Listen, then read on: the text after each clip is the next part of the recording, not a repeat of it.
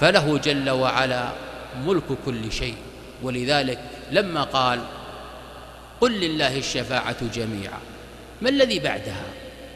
له ملك السماوات والأرض هو الملك الملك التام الكامل له ملك السماوات والأرض ثم إليه ترجعون فكيف يشرك مع الله جل وعلا؟ ولذلك قالها المجدد محمد بن عبد الوهاب إذ قال ومن المسائل أن الله لا يرضى أن يشرك معه أحد لا نبي مرسل ولا ملك مقرب.